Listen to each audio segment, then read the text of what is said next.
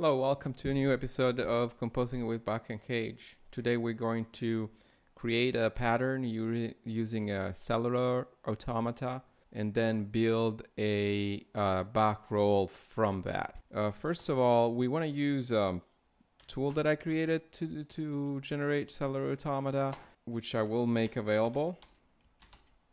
So let's give this uh, a color. Uh, so this is my tool and uh, it outputs a jitter matrix here which is a good way of visualizing what I'm doing. So let's first see uh, what a cellular automata is. It's a way of generating patterns based on simple rules. Decide a rule and then a length and a width of my matrix. I can get different patterns. This one in particular is not very interesting, but we can get something like this.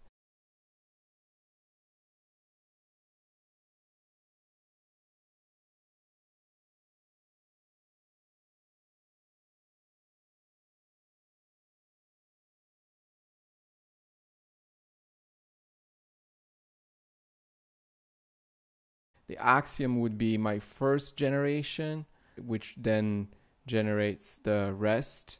And in this case, it's just one point in the middle, but I can start with a different axiom, with a random axiom, and get uh, more complex um, results. And each rule will have different uh, behaviors. So uh, this one is a different one.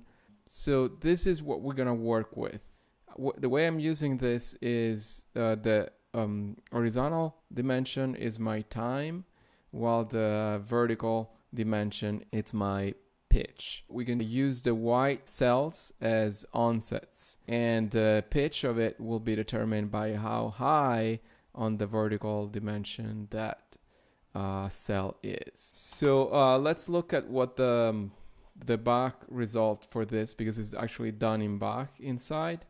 So we can actually just attach a Bach print to it, trigger it again. I have a list of lists and each list uh, corresponds to a, a, column.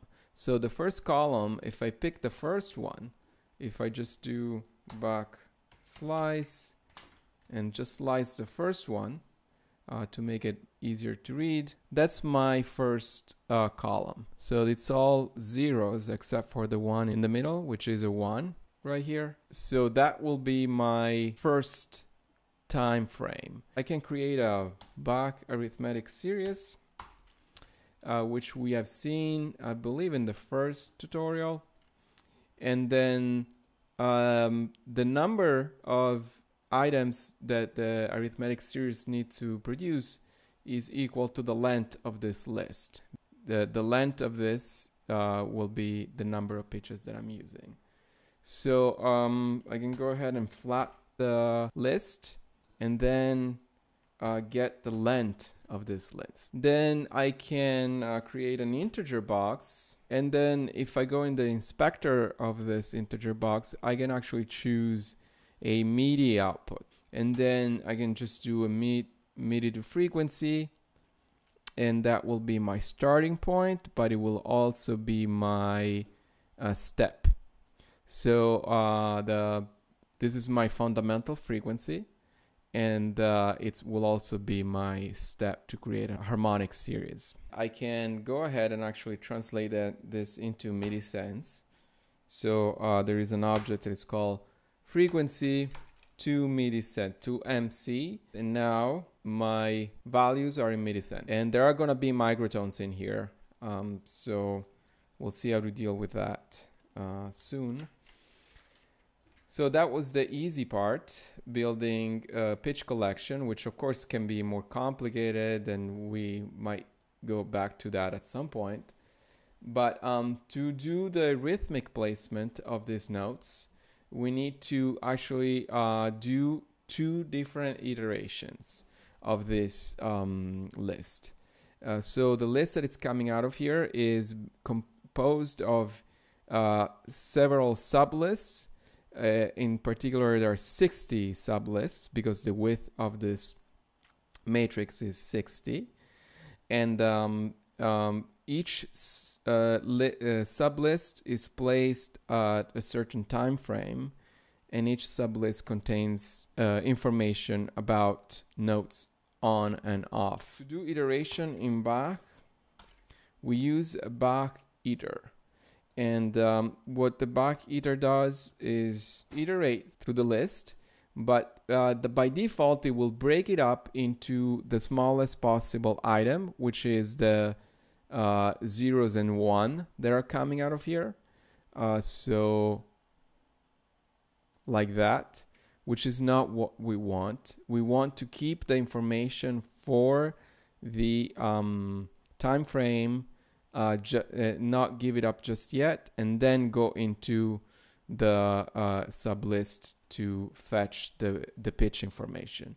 So to get the time information, we can uh, first of all prevent the Bach iter to iterate through each one of these sublists and uh, give it an argument a max depth 1. Uh, if we use the Bach iter with the argument at max depth 1, uh, the list will be broken into uh, sublists, but the sublist will be not iterated through.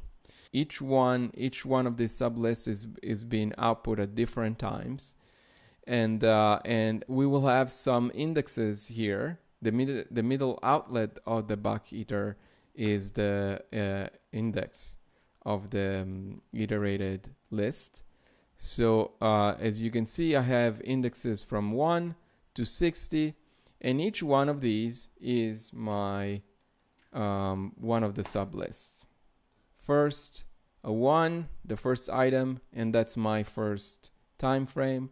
Then the second. So this will be my time placement for my notes. So this will be my tempo in milliseconds, of course.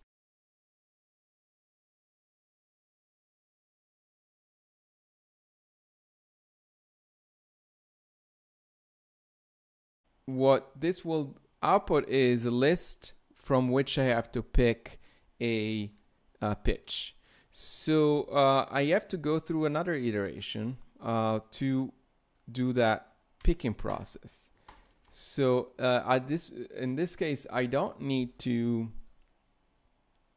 I don't need to actually use the argument at max depth one because I do want to iterate through the sublist and get the zeros and the ones. And as I said, when I get a zero, uh, there is no note that needs to be uh, uh, generated. While if it's a one, we will generate a note, and the, which note will be determined by the placement of that one within that list. So um, since I'm going to use some max objects here, uh, I want to go back to a max uh, message uh, syntax. And so I'm going to use actually select one because that's my note on. I'm going to use a integer holder. So this will be placed there. And whenever I get a one, this will uh, be triggered. Uh, this integer will be output will be output to uh, select uh, something from a list. A list. So just like uh, we have the ZL lookup in Max, we have a Bach lookup in in, in Bach. Um, there is an object that it's called collect.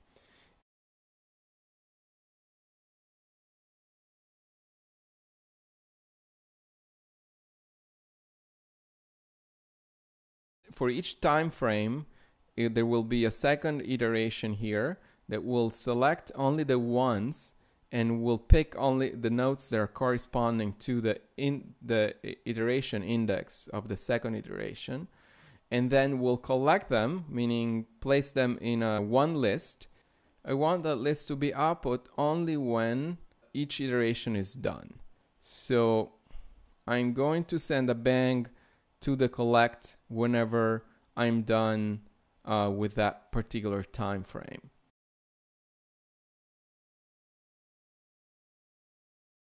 So now I have for each time frame, I have a list of pitches. And you can see at the beginning, there is only one pitch right there.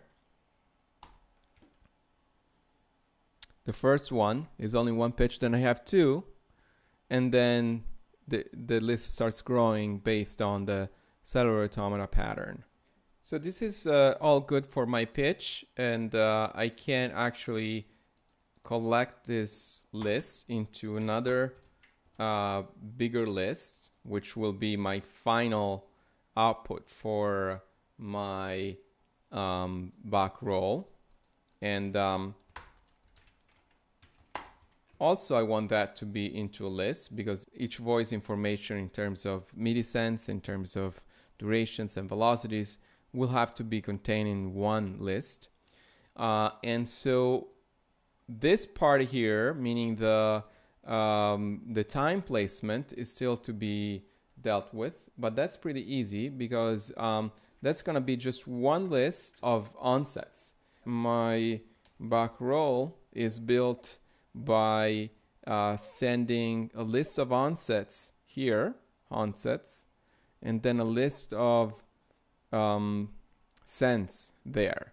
And that's my list of cents. When everything is done, send a bang to the pitch list and then to the onset list and finally build the uh, Bach roll.